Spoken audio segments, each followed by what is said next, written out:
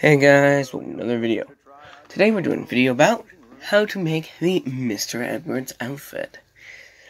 I really hope you know who Mr. Edwards is, because if you don't, that's so sad. From the old TV show Little House on the Prairie, he's the guy in season one who you they encounter, and he's just a cool dude. So, if you haven't watched the show, you should watch it. First thing is his hat, which that's kind of optional, but I, I like to add the hat. He usually didn't wear it, but he did sometimes.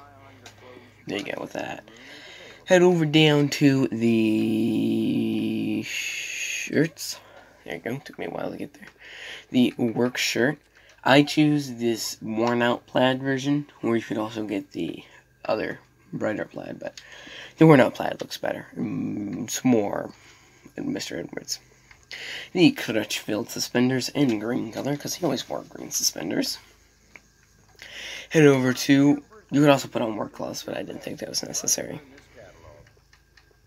I like to put on a, a crappy looking gun belt, so I don't really look at it and think, oh, that's a great gun belt. Doesn't make me think about that, you know. We have the padded saddle work pants in this variant, chewed up, you know.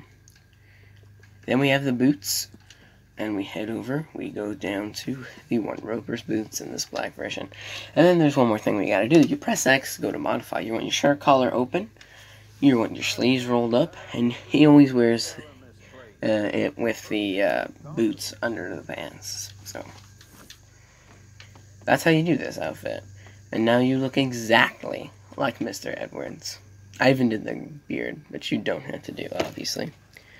But, you know, I hope this made you capable of being Mr. Edwards, and I hope to see you all next time. So, good boy, my